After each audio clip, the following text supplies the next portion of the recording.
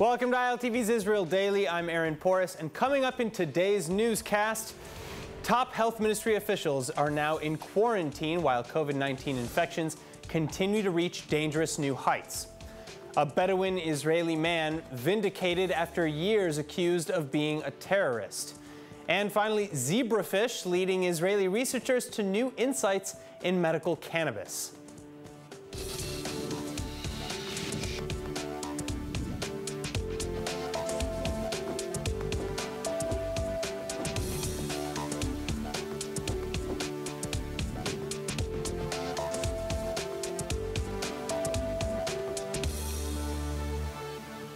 At least 40 Israeli cities and towns going into their second evening of closures tonight.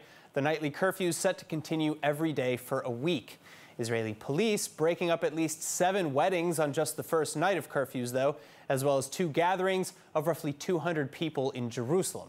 Still, residents of these cities are mostly confused and angry with the new restrictions.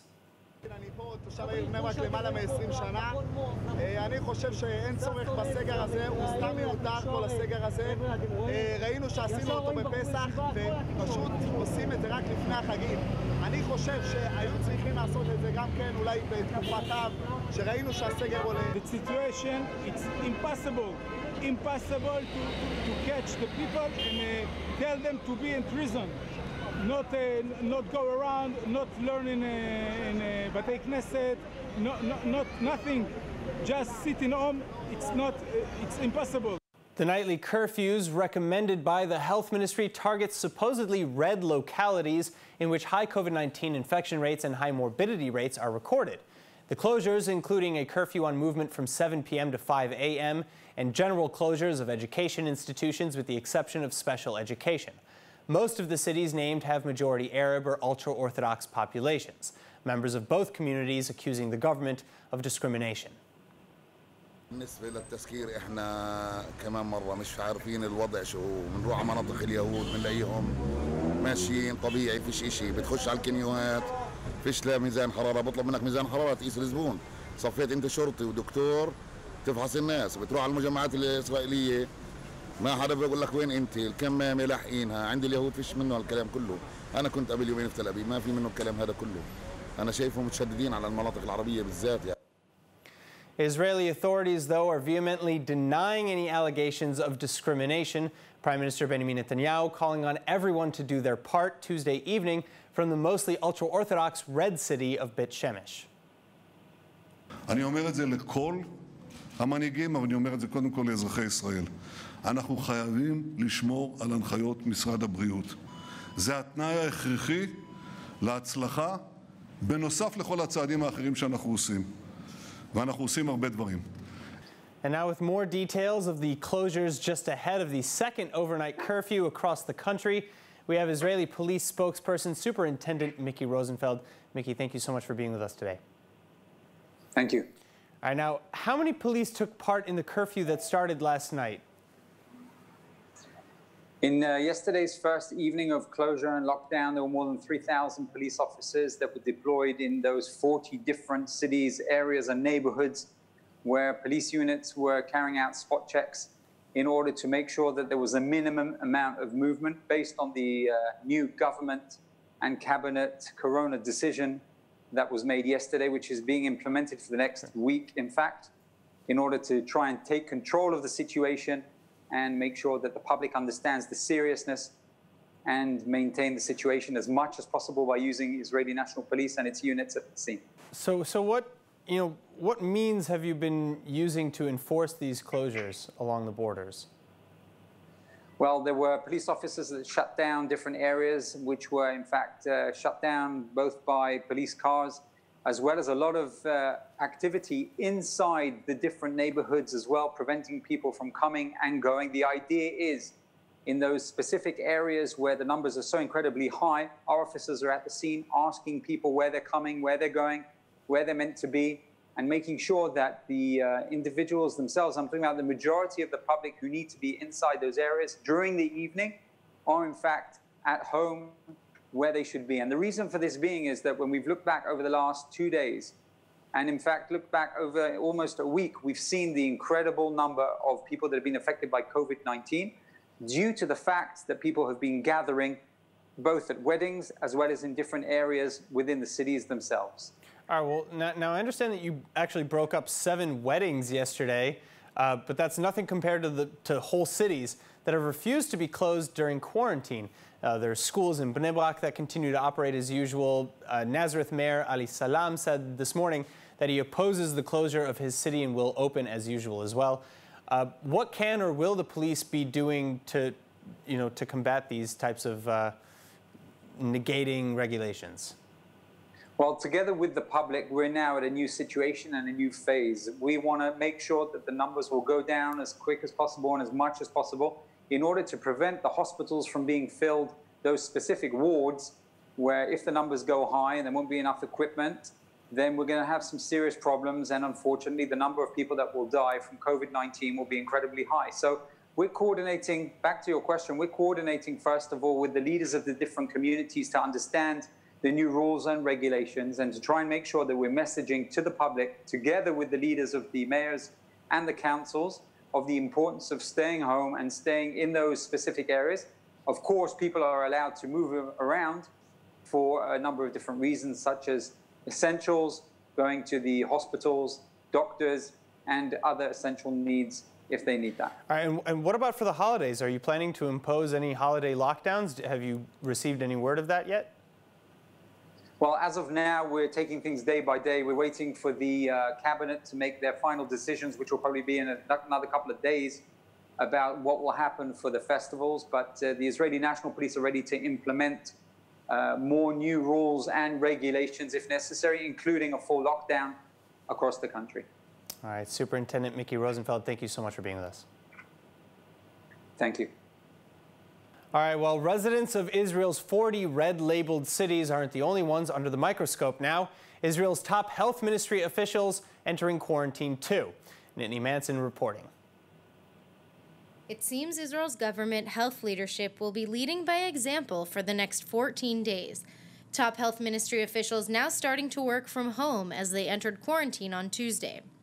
And this after reportedly coming in contact with a health official who is now testing positive for coronavirus.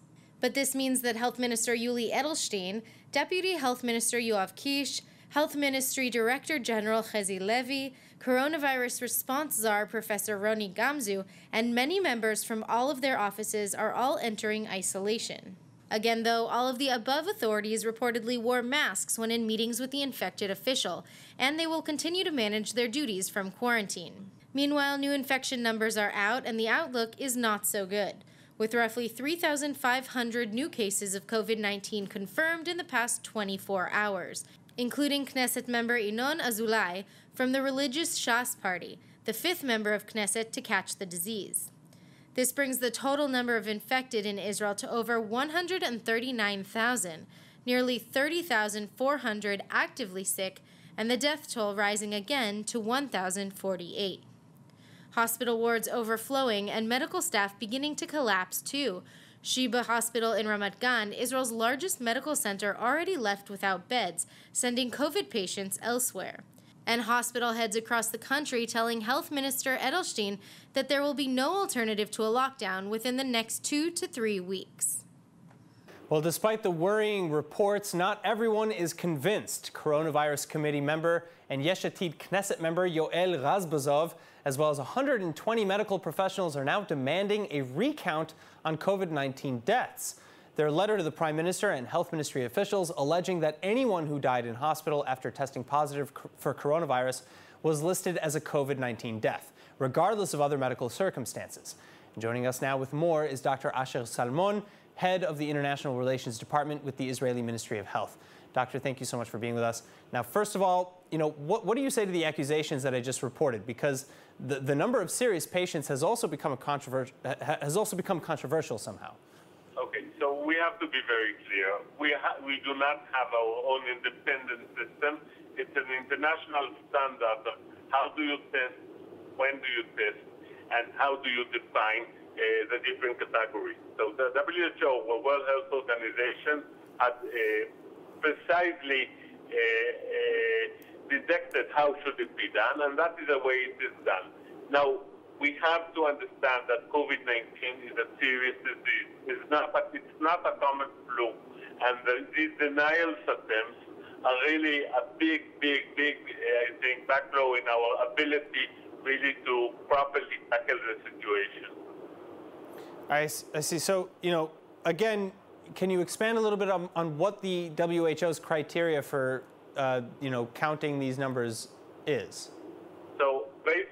Anybody that uh, his deterioration is related to a COVID-19 uh, validated infection is considered to be suffering from COVID-19. And if in this context, unfortunately, he dies, he would be considered uh, a death case related to COVID-19. It, well, you have to admit that some of them really suffer from, uh, I would say, uh, uh severe uh, chronic diseases, uh, even terminal diseases like cancer or, or complicated lung diseases and many other issues. But we have to understand that still, at least in Israel, many or most most cases who have died from COVID-19 uh, would have a chance to live sometimes even years if they would not account as this infection. Wow. All right. Dr. Salmon, thank you so much for, for calling in. Thank you. Bye-bye. Have a great evening. Now, in related news, with the coronavirus pandemic picking up speed, Israel's financial troubles are also dramatically rising. The state budget deficit now tripling to an all-time high of 87.5 billion shekels since the start of 2020, compared to the 29.2 billion in the same period of last year. In fact, in August alone, the government reportedly spent an estimated 17.3 billion shekels, or three times the amount spent in August 2019. As for Israeli individuals, however, the situation is much more dire. Israeli Prime Minister Netanyahu now pushing yet another stimulus package.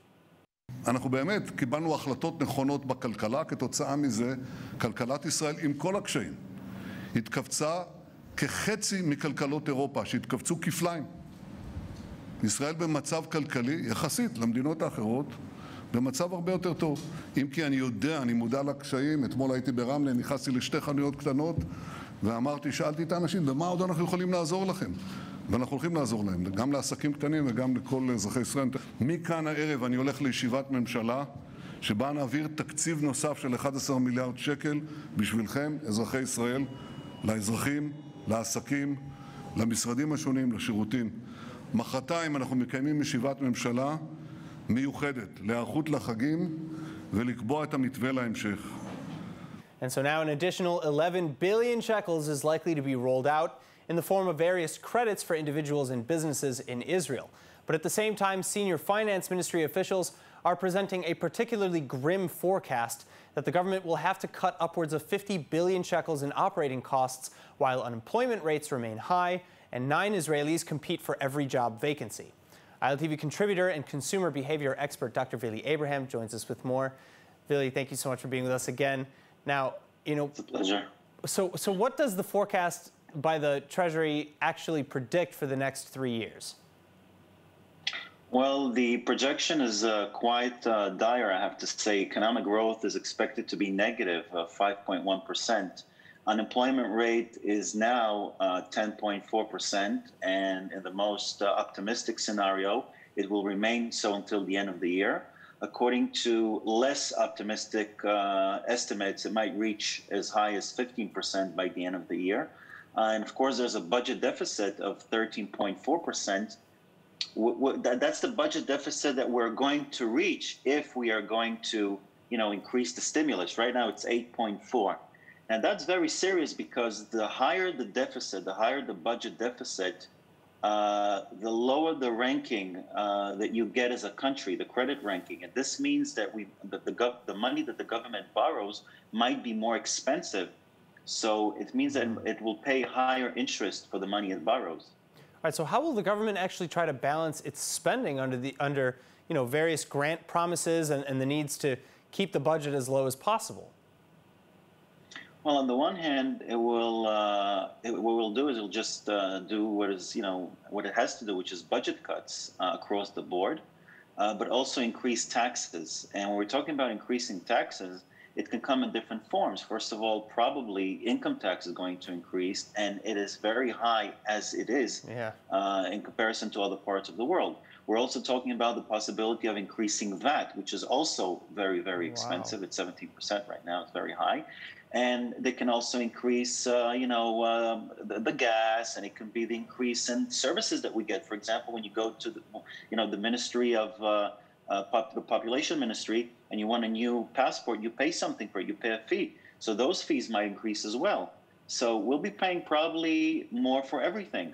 Well, I think we're all anxiously waiting for more results and more details about our financial situation. Vili, thank you so much for joining us with the details. It's a pleasure. Moving on, a tough story of cover-ups and conspiracies, but even tougher for the family of the victim who have been fighting for justice for nearly three years. Israeli Public Security Minister Amir Ohana is now calling for fresh investigations into a January 2017 incident resulting in the death of an Israeli police officer and a Bedouin teacher. The Bedouin Israeli in question, Yaqub Abu Alkian, finally vindicated in light of new evidence, appearing to prove his innocence in what was originally labeled a terrorist car ramming attack. אני קיבלתי דיווח, שאלתי שלוש פעמים את המשטרה וקיבלתי דיווח מלשכת המפכ"ל שזה היה דריסה של פיגוע טרור. ואני היום, ואחר כך כשהתברר שזה לא כל כך מובן מאליו, ביקשתי להמתין לסוף, אבל הסוף לא הגיע. אז אני רוצה קודם כל להגיע, להגיד בשמי, בשמי, אני רוצה להביע התנצלות למשפחת אלקיעאן, שאבי המשפחה, אזרח ישראל, נהרג אמרו שהוא מחבל, אתמול התברר שהוא לא מחבל. אתמול התברר שבכירי הפרקליטות והמשטרה הפכו אותו למחבל. As the Bedouin village of Umm al Khiran was being readied for demolition in 2017, Al Kian ran over a group of police officers in the village, killing one of them, Sergeant Erez Levi. Al Kian was then subsequently shot dead. But accounts of the incident instantly diverged, the police claiming that it was a vehicular terror attack, while others claimed that he was shot first, causing him to lose control of the car. And now, following troubling Israeli media revelations, it looks as though the 47 year old father of 12 was, in fact, not a terrorist. But it was reportedly decided then to continue the terrorist narrative so as not to hurt the police's image while they investigated Prime Minister Netanyahu. Netanyahu, for his part, is blasting the alleged corruption under which the police conducted their probes against him for the second time this week, adding dire warnings for us all. פרקליט המדינה אומר באימייל שלו שהם קוברים חקירות, מעוותים את הצדק, מעוותים את האמת, מסיבות פוליטיות לפי מה שנוח להם. אתמול הייתה עוד דוגמה בדיוק לדבר הזה. הפרקליטות והמשטרה לקחו אזרח ישראלי שבפעם הראשונה נהרג בטעות, ובפעם השנייה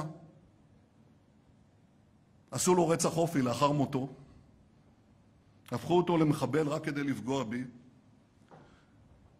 אני אומר לך ואני אומר לכם, אזרחי ישראל, אם זה מה שעשו לי וזה מה שעשו למשפחת אלקיאני, מה הם עושים יום-יום לאזרחי ישראל. אם זה מה שהם כותבים באימייל, סליחה, מהמקפצה, מה הם אומרים אחד לשני בחדרי חדרים? אני חושב שמה שחשוב שיהיה כאן מיד זה חקירה עצמאית, בלתי תלויה, חקירה אמיתית, שתביא לבירור האמת, כי זו הדרך היחידה להחזיר את האמון לשלטון החוק. Now, on a much lighter note, leaders from Israel and the United Arab Emirates are invited to Washington next week for an official normalization agreement signing ceremony. Nittany Manson with the details. Thursday, September 15th. That's the official date selected for the White House to host state leaders from Jerusalem and Abu Dhabi, where they'll sign the landmark normalization deal. Israeli Prime Minister Netanyahu saying he was proud to be taking part in this historic ceremony. But while diplomats are taking up the spotlight, Israeli and Emirati business leaders are laying down the real groundwork. Annual trade between the two countries valued at an estimated $4 billion. Many industry leaders already jumping on the normalization bandwagon. The heads of Israel's two largest banks, Bank Hapoalim and Bank Leumi, already set to lead two delegations to the Emiratis to establish and coordinate economic ties. Meanwhile, Israeli budget footwear chain Scoop Shoes is announcing plans to become the first Israeli retailer to open five new branches in Dubai and Abu Dhabi, while Israeli and Emirati models posed in the sands of Dubai for an all new pajama and nightwear campaign by the brand Fix, waving Israeli and Emirati flags during the shoot. And Israeli model Mai Tager becoming the first Israeli model to pose in the Gulf state. Then finally, not to be outdone, Gulf investors are already working on Israeli deals, including buying up so called trophy real estate assets in East Jerusalem. Now, an official delegation from the Muslim majority African nation of Chad has just arrived in Israel, bearing amazing news. In addition to advancing cooperation on cyber defense, intelligence, and economics, among other things, Chad may soon open a diplomatic mission in Jerusalem the two sides discussing the appointment of ambassadors as well. Israel and Chad first officially renewed their ties in 2019, and they're now beginning to realize those new relations.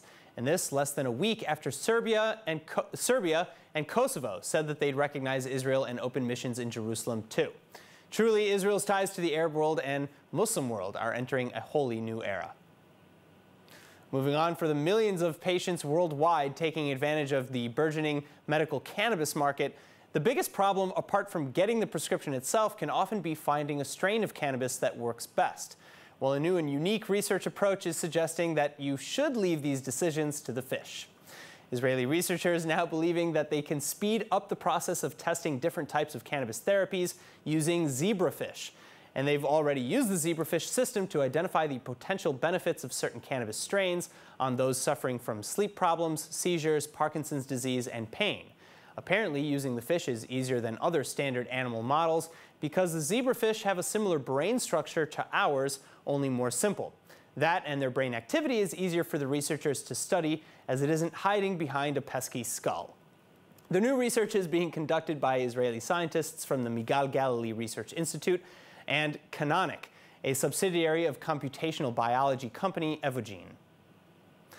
All right, well, if you have spent any time in Tel Aviv during the summer months, chances are you stopped by Anita's ice cream shop. This little boutique ice cream parlor has become a must-visit spot for Frigophiles visiting the White City. Yes, that's a lover of cold and frosty things. And after their international debuts in Australia and Puerto Rico, they're taking the show to the Big Apple.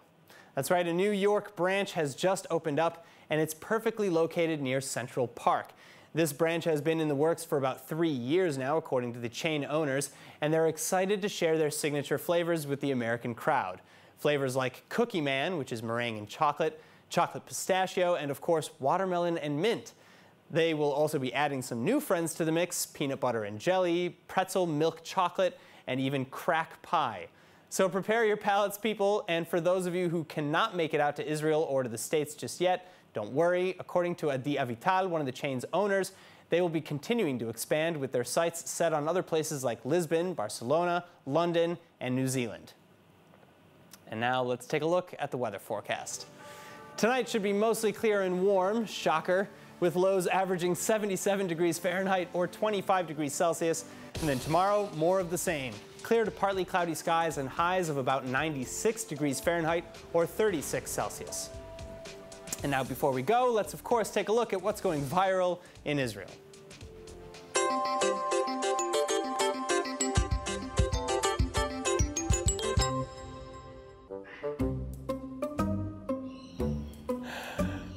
The daily dog video of ILTV. Love it. Is, I can't tell if the cat's trying to mess with the dog or just sneak past him. Probably both.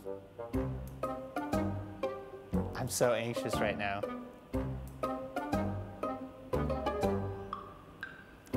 I, I, guess we'll leave us all in suspense. And that is it for today's news. Today's exchange rate is 3.4 shekels to the American dollar. For more news from ILTV, please like ILTV on Facebook, follow us on Instagram, and subscribe to our YouTube and Roku TV pages. I'm Aaron Porras. Thank you so much for watching.